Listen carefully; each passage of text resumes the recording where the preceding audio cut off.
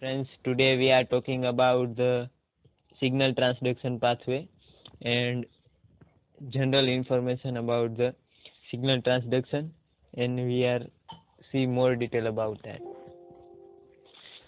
In this video lecture, we are including the general features of the signal transduction, type of cell signaling and type of the signal receptors.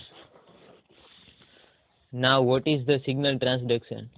Signal that re represent the information and bind then detect by the specific receptor. This receptor convert to the cellular response. This all the process the form from the information to the response it's called the signal transduction and what are the type of signals that is presented is antigen cell surface uh, glycoproteins light and uh, growth hormone and growth factor light nutrients odorants and pheromones.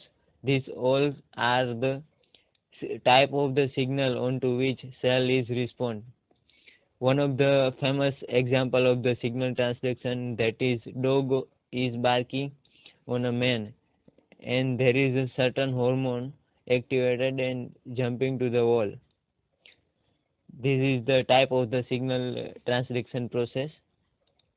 Now we are discussing about the four features of the signal transduction system. First one is specificity second one is amplification third one is desensitization and fourth one is integration. Now first what is specificity? Certain signals are specific to the certain receptor. They only activate the certain receptor and going to the intracellular response. It is achieved by the molecular complementary between the certain signal and certain type of the receptor. Here you can see the example of that thyrotropin releasing hormone only triggers the response to the antipituitary not the hepatocyte okay this is the example of specificity of the features specificity features. Second one is the what is amplification? When the enzyme associate with the signal uh, and then signal signal activates the enzyme and this enzyme activates the another enzyme. And this all the enzyme are activate the another enzyme. So actually this is the amplification feature of the signaling uh, signal transduction pathway. Then the third one is the desensitization.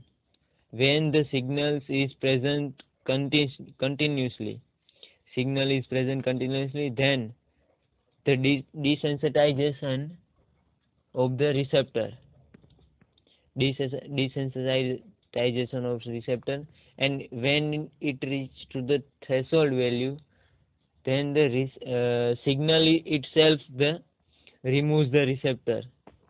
When the receptor activates then triggers the feedback circuit and set of the receptor. You here you can see that set of the receptor. So it is removed from the cell surface. And the system it is become a sensitive.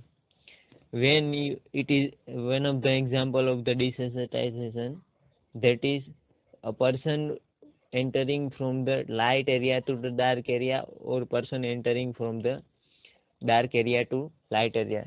There is a desensitization occurs of the signal transduction pathway. The fourth one is the integration and uh, the multiple signals that activates the same uh, pathway of the signal and respond of that signals multiple signals is the same. And accumulation of the response. Here you can see that the multiple signals gives the unified response. It is the type of the integration of the signal transduction pathway. And appropriate to the need of cell organism. Different signaling pathways convert conserve with the each several levels and in generating the wealth of integration now we are see what is the type of re- receptor. There is a six type of receptor. G protein couple receptor receptor tyrosine kinase receptor guanylyl cyclase gated ion channels adhesion receptor and nuclear receptor. Here you can see that all type of the receptor all six type of the receptor given here. And we are going to more detail about the what is the mechanism action of the each type of the receptor in the future videos. And uh, i hope this video is helpful to you.